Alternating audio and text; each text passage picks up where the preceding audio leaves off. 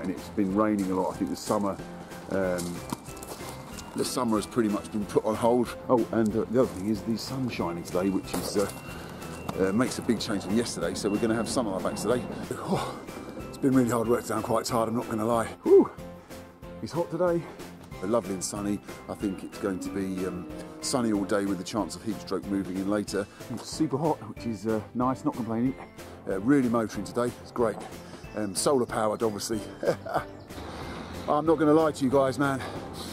I don't know if my backside's been punch drawn or bored. That's really knocked me up. I don't know what the heat is.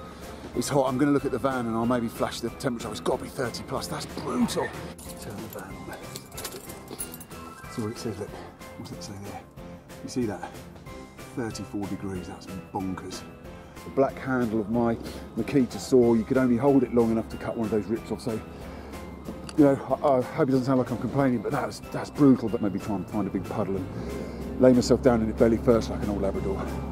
I will have to say on the plus side, I've got a lovely shaded area to do any more work in, so, you know, every cloud and all that.